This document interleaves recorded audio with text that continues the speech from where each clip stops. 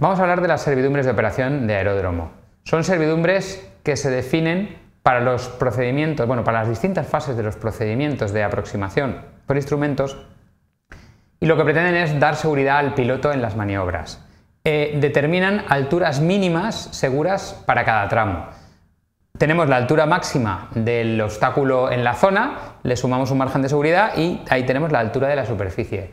Las superficies pueden ser para procedimientos de precisión y para procedimientos de precisión. Si nos vamos, aquí tenéis un plano del aeropuerto de Valencia y aquí tenéis el límite de la aproximación final del ILS de la 1.2, altitud 521 metros, límite de la aproximación intermedia del ILS de la 1.2 es altitud 1071 metros.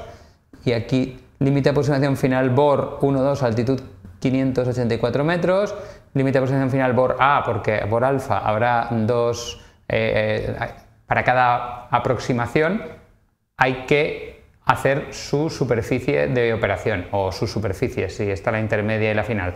Entonces estamos hablando de que si hay una aproximación definida que se llama BOR 1.2 y otra que se llama BOR alfa, pues tendrá que tener cada una su superficie.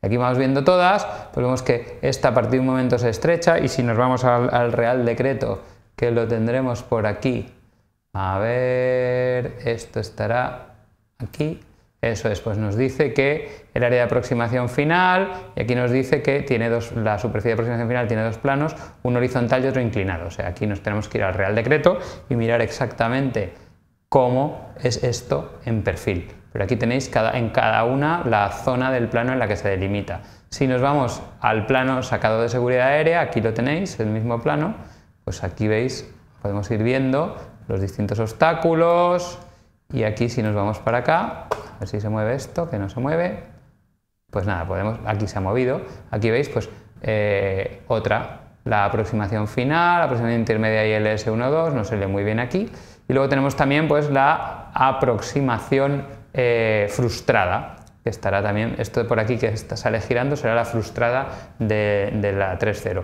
Aquí vemos los obstáculos marcados con triangulitos azules y luego el final, final approach point del ILS, de, aquí tendremos el de la 1.2 y tenemos marcadas las distintas, ILS 1.2 final, ILS 1.2 frustrada, IL, NDB 3.0 frustrada, que supongo que será esta que sale por aquí, BOR 3.0 final, ILS 3.0 frustrada, ILS 3.0 intermedia, etcétera tenemos definidas todas las superficies. Y con esto termino este polinomio.